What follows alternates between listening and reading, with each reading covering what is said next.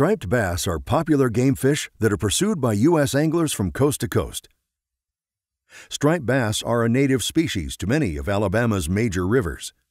The strain of striped bass that is native to the rivers that flow into the northern Gulf of Mexico is often referred to as the Gulf Coast striped bass. These fish are genetically different from those native to the Atlantic coast.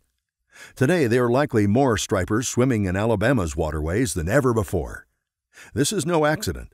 The construction of many large hydroelectric dams and man made reservoirs in the mainstream rivers of the Mobile Basin in the early and mid 1900s proved to be a blessing and a curse for striped bass. The blessing was the creation of many deep water lakes with the cooler water sanctuaries and open water habitats necessary for large adult stripers to thrive. The curse was the interruption of the continuous river flows that are necessary for the striped bass to successfully and consistently reproduce. By the early 1970s, researchers at state and federal fish hatcheries in the southeast developed new techniques that made it possible to produce large numbers of striped bass fingerlings. This made it practical to stock striped bass fingerlings in the region's large man-made reservoirs and lakes, creating many new recreational opportunities. By the early 1980s, Alabama's striped bass production program had hit full stride in Perry County at the Marion State Fish Hatchery. At about this same time, fisheries biologists recognize the genetic distinctiveness of the Gulf Coast striped bass the state fisheries agencies of Georgia, Florida, and Alabama, along with the U.S. Fish and Wildlife Service, entered into a cooperative agreement to conserve and restore populations of the native Gulf striped bass within the region. Lewis Smith Lake in north central Alabama was one of the lakes selected to preserve native Gulf Coast striped bass stocks for this regional restoration effort. Beginning in 1983, the Alabama Division of Wildlife and Freshwater Fisheries began annual stockings of striped bass fingerlings, produced from verified Gulf Coast striped bass adults, in order to establish and maintain a hatchery brood fish source for the cooperative restoration effort. To this day, Lewis Smith Lake remains a vital source for brood fish for hatchery production needed to support fingerling stocking needs in the Southeast. Today, Adult striped bass brood fish are captured from Lewis Smith Lake in late March and early April, just prior to their natural spawn. Long lines baited with live goldfish or shad are deployed in strategic locations to catch candidate broodfish. Specially equipped boats are also used to electrically stun fish in the smaller tributaries that run into the lake. Division personnel carefully recover stunned or hooked fish from the water. These fish are immediately evaluated for potential hatchery use. Sex, size, and overall health are assessed, and fish deemed suitable for spawning are immediately moved to a waiting boat that transports them from the lake to a nearby hatchery transport truck. At Marion Hatchery, fish are weighed, tagged, and evaluated to determine the condition of the females. Prime females are injected with a hormone to stimulate the final development of their eggs. Normally, within 48 hours after injection, the females are ready to spawn. Once the females are injected with hormone, they are placed in a tank where they are continuously monitored. Periodically, hatchery personnel carefully net the female and check to see if she's ready to release her eggs. When it is determined the female is ready, three to five males are selected to provide the sperm needed to fertilize her eggs. The number of males is important because using multiple males ensures an increased genetic diversity in the offspring that are being produced. A 20-pound female can produce over a million eggs. Sperm from the males and a small amount of water is then mixed with the eggs using a turkey feather. Once all the eggs are obtained from the female and the sperm is mixed in, the eggs are carefully measured into waiting hatching jars. Each jar can handle about 75,000 eggs. Water flowing through the hatching jars keeps the eggs suspended and simulates the natural flow and turbulence of a flowing river. A screen on top of the jar prevents any eggs from prematurely washing out.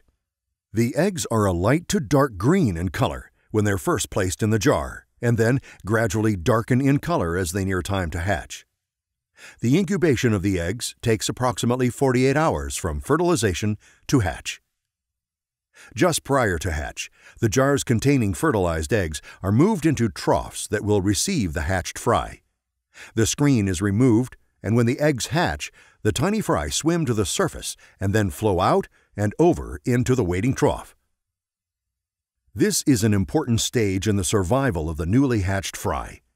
When first hatched, these tiny fish rely on an egg yolk for nutrition. This egg yolk will sustain the fry for up to six days. After that time, the fry must learn to eat or they will perish.